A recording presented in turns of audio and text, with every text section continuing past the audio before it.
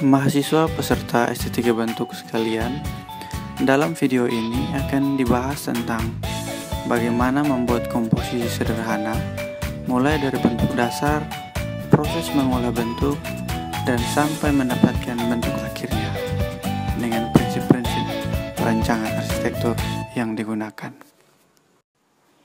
Dimulai dari bentuk dasar. Kali ini, bentuk dasar yang digunakan adalah bentuk dasar persegi. Prinsip perancangan yang digunakan adalah keseimbangan dan kesatuan. Bentuk dasar yang ada ini diperbanyak menjadi dua ukuran, yakni besar dan kecil. Yang kecil dibuat menjadi dua dan yang besar tetap menjadi satu, sehingga menjadi tiga bentuk. Dari tiga bentuk ini, disatukan dengan prinsip keseimbangan dan menjadi komposisi dasar. Nah, komposisi dasar ini menjadi bagian yang penting karena dengan komposisi dasar ini tinggal diperbanyak dan diubah-ubah posisinya saja. Salah satu caranya yaitu dengan mirror. Mirror artinya bentuk yang sama tetapi berbeda posisi. Setelah di mirror, kemudian digabung. Dan setelah itu, komposisi yang tergabung tadi di mirror lagi untuk menjadi bentuk yang baru dengan komposisi yang besar.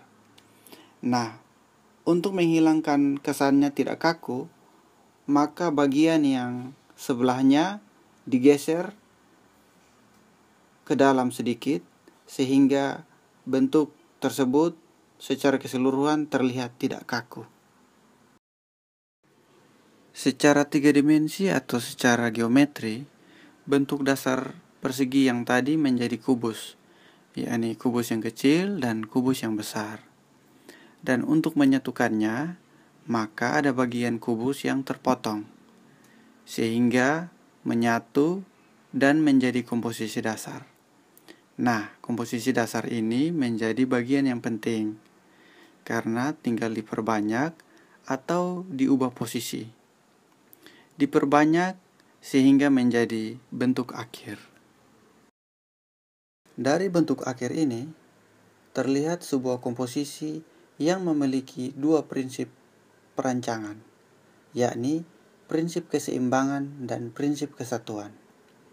Prinsip keseimbangan terlihat dari bagian kiri dan kanan yang sama besar dan sama berat.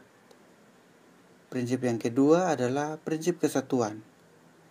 Prinsip kesatuan terlihat dari pola dasar yang tersebar di semua komposisi. Bentuk dasar yang berikut berupa lingkaran atau secara geometri disebut bola dengan prinsip yang digunakan yakni skala, focal point, dan irama. Bentuk dasar tersebut diperbanyak menjadi beberapa ukuran, yakni ada bola yang kecil, yang sedang, dan besar.